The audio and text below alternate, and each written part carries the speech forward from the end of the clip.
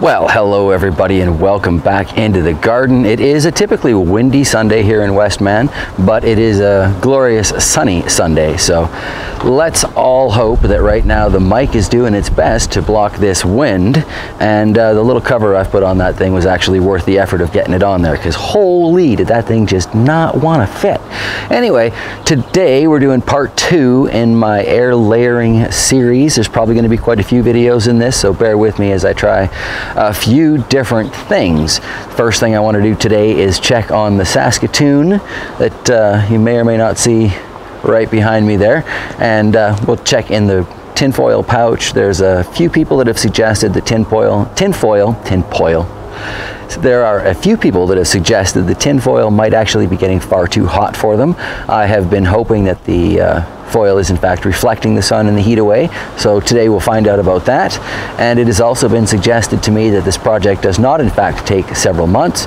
It can be done in a few weeks. So today is three weeks and uh, we're gonna check. So let's put you guys on the tripod and take a look at the tinfoil package around my smoky Saskatoon. Now I should probably apologize because this is a better camera than these videos might suggest, but tragically my computer is just still not up to uh, editing anything remotely HD. So this is the best I can do for now, folks. Mindless small talk while I try and peel this tape off the top. Seemed like a good idea at the time.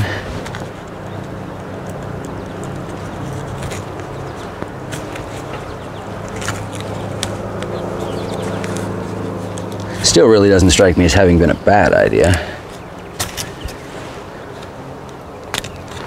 It's not quite as easy to get off as I had initially thought.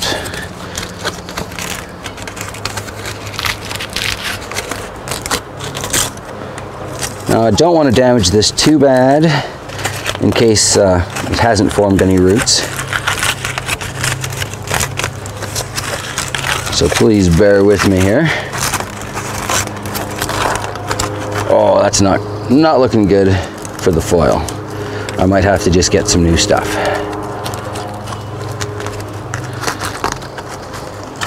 Feels fairly cool. So,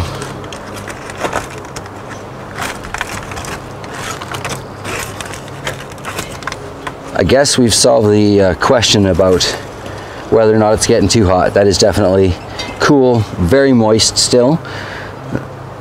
I take that as a good thing. I don't see any signs of roots forming on here yet. So I don't think we're gonna dig much deeper. I'm gonna leave this for, well, probably another couple, maybe few weeks. Check back on it then. But at least now I know that the foil is, as I was hoping, reflecting at least the majority of the heat and it is working to keep that moisture in there because I've been kind of wondering about how I'm supposed to top that up. I don't think I'm going to put fresh tape on that and I don't think we're going to bother to check the gooseberry. So let's move in to the next way I'm going to try and do these and the next plant I'm going to try and do it on. All right, so we're flying handheld again. It's gonna get a little shakier here, but we are over at the red Currant. And look, I finally cleaned up most of my mess. I'm getting ready to move that, but that's a whole different project and therefore video. But on the red Currant, we can see a boatload of little flowers have sprouted out open this year.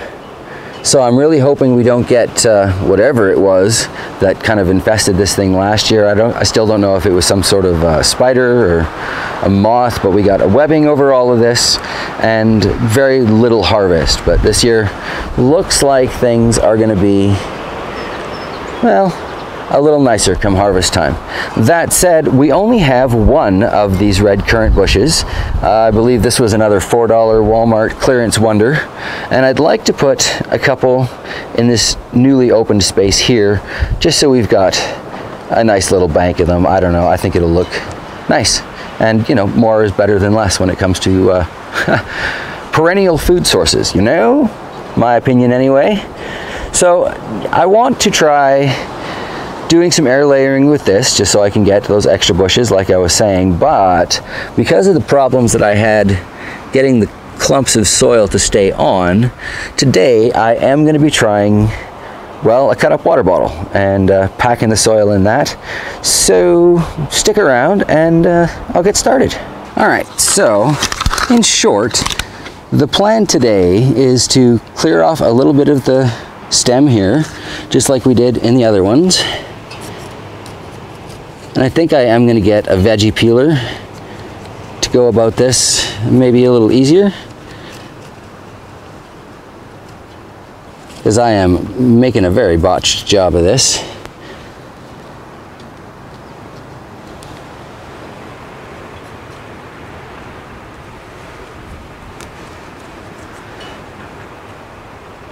This is a good knife choice for cutting the bottles as it turns out, but not necessarily so good for uh, cleaning the branch.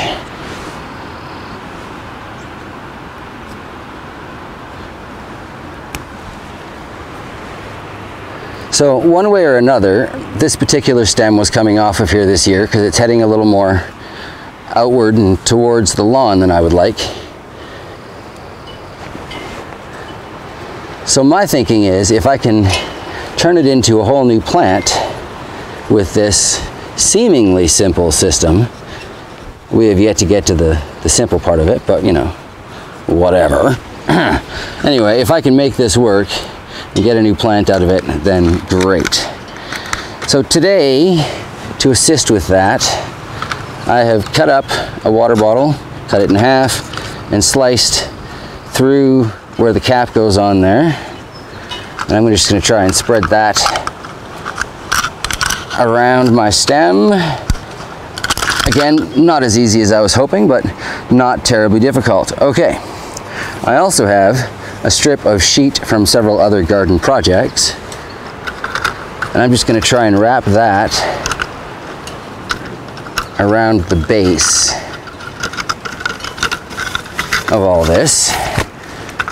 Oh, I hope this doesn't look as terrible in the camera as I suspect it does. But the idea here is that this will stop some of my soil from coming out the bottom.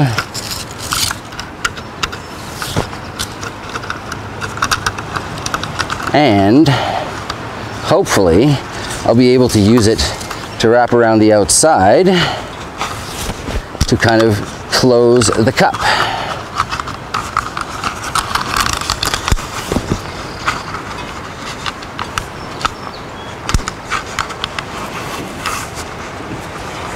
All right.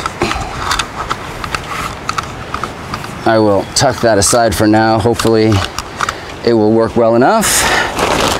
Got a bag of just plain potting soil here.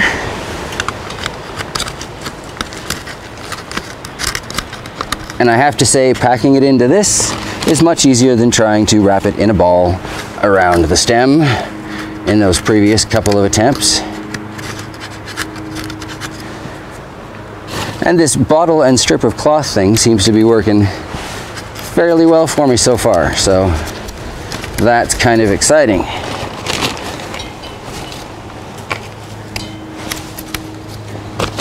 It's potting soil, so if I spill some on the ground, no big deal there.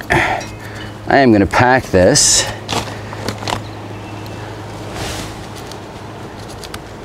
All right. And now the one thing I do like about this idea is that we should be able to check for roots without risking this potential root ball later on when we come back and check this in a few weeks. Not quite done yet though. I do still want to water that in. Probably going to end up adding a little more soil at that point. And uh, I want to, I don't know, do something with this wrap here, I guess. Tuck it through what is it they say to kids? Loop, swoop, and pull. Anyway, it's kind of resting on a branch down at the bottom, so it shouldn't drop too much. All right, I'm gonna pause the video and get some water and some tinfoil. Give it a sprinkle, hopefully not knock out too much of that potting soil.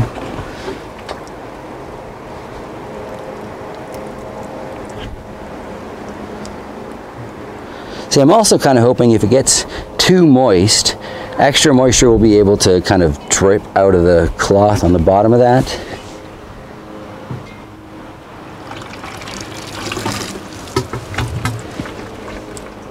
My little watering can could use some help here, but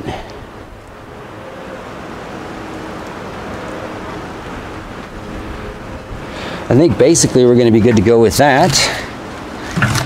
And if not, I can always come top it up later. So next step, tin foil. Oh, and of course, as we've got the tin foil, the wind kicks up again.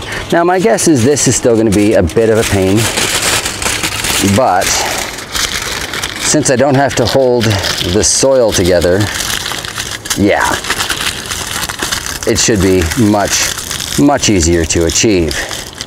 Alrighty, well look at that.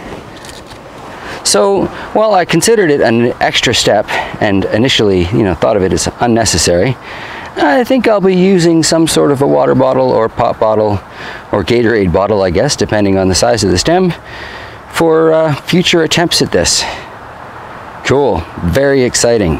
So the next bush I'm hoping to try another variation of this on is this beautiful honeyberry because as I've mentioned in other videos, it is the first one to flower uh, for the last couple of years, so I suspect it's going to maintain that. And therefore it's a really good source of early season pollen for our bees, honeybees, bumblebees, whatever. There are several different varieties of bees out there and we need them all. So the wind is just knocking that around. Hopefully you're seeing it more than you're hearing it. But I guess that's probably where I'm going to wrap it up today. And we'll get back with the next one in this series probably in two to three weeks time when we once again check on the Saskatoon berry back there. And uh, of course, we'll have to stop and check on today's and then we'll try a third variation on this one. It is, after all, my opinion that it's, it's almost impossible to have too many fruit and berry bushes around. And yeah, as I said in previous videos, I think if I can make this work, and frankly, I've seen it work for enough people that uh, I'm not going to give up until I find a way to make this work and master it at least as well as I've mastered the aquaponics. Because let's face it, on that one, I can pretty much build an aquaponic garden out of anybody's junk pile. And uh, that was my learning goal with that. I, I feel I have achieved it, and I'm going to get to that point with this air layering concept come hell or high water, you know? So yeah, it's going to be uh, an interesting journey and I look forward to sharing, you know, what I learn along the way. Please feel free to add any comments down below if you've got uh, further bits of advice for me or thoughts on whether or not I should go with that veggie peeler idea. Yeah, let me know. And if you find this at all educational or entertaining, feel free to share it on whatever social media is, all that blah, blah, blah that goes along with this. You know, yeah, please hit the like button and hey, have you subscribed? If you're, you're seeing it at this point, I'm pretty sure you're not only a subscriber, you've been a sub for a while. So many thanks to you. Much love to you all, whether you're new, old, or just getting comfortably settled in with the channel. And uh, yeah, I will be back probably in the next few days because it's time to get started on some of those companion gardens and in fact I have started on the swale garden which I can't really tell if you can see behind me it's back there somewhere. That big swale garden we built a few years back go check in the video library if you want to see what I'm talking about there. Yeah anyway much love everybody and I will see you in the next garden update